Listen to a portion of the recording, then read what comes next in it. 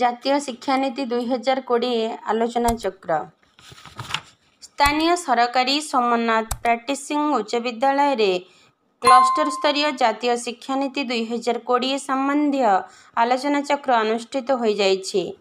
କାର୍ଯ୍ୟକ୍ରମରେ ଅତିଥି ରୂପେ ଲାଲସିଂ କାନୁରାଉତ ନୋଡାଲ ଉଚ୍ଚ ବିଦ୍ୟାଳୟର ପ୍ରଧାନ ଶିକ୍ଷକ ପ୍ରଦ୍ୟୁମ୍ନ ପ୍ରଧାନ, ବୁଦୁଲି ଉନ୍ନୀତ ଉଚ୍ଚ ବିଦ୍ୟାଳୟର ପ୍ରଧାନ ଶିକ୍ଷୟିତ୍ରୀ ଗାୟତ୍ରୀ ପଣ୍ଡା, ସୋମନାଥ ସରକାରୀ ଉଚ୍ଚ ବିଦ୍ୟାଳୟର ସହକାରୀ ଶିକ୍ଷକ କାଳୀଚରଣ ପରିଡ଼ା, ବିରିପଦର ଉଚ୍ଚ ପ୍ରାଥମିକ ବିଦ୍ୟାଳୟର ପ୍ରଧାନ ଶିକ୍ଷକ ବିପିନ ବିହାରୀ ନାୟକ, ଅନେକ ଖବରର ସାମ୍ବାଦିକ ବବି ଅନନ୍ତ ରଥ ମଞ୍ଚାସୀନ ଥିଲେ।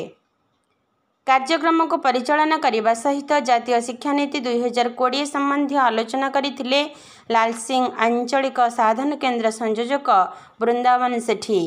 ଏହାସହ foundation, literacy numeracy, national achievement survey, wash programme ଆଦି ବିଷୟରେ ମଧ୍ୟ ଆଲୋଚନା କରାଯିବା ସହ ପିଲାଙ୍କୁ କିପରି ଡୋର ଷ୍ଟେପ୍ ରେ ନାସ୍ ପରୀକ୍ଷା ପାଇଁ ପ୍ରଶ୍ନପତ୍ର ବଣ୍ଟନ ହେବ, ଡେଡିକେଟେଡ ଟିଚର୍ସ କିପରି ଏଫ୍ଏଲ୍ଏନ୍ କାର୍ଯ୍ୟକ୍ରମ ପରିଚାଳନା କରିବେ ଏବଂ ଓ୍ୱାସ୍ ପ୍ରୋଗ୍ରାମ ଅଧୀନରେ କିପରି ବିଦ୍ୟାଳୟଗୁଡ଼ିକରେ ପାନୀୟ ଜଳ ଉପଲବ୍ଧ, ସ୍ୱଚ୍ଛ ଟଏଲେଟ ଏବଂ ଉତ୍ତମ ସାନିଟାଇଜେସନ ବ୍ୟବସ୍ଥା ପାଇଁ ଯୋଜନା କରାଯିବ ସେ ବିଷୟରେ ବିସ୍ତୃତ ଆଲୋଚନା କରାଯାଇଥିଲା।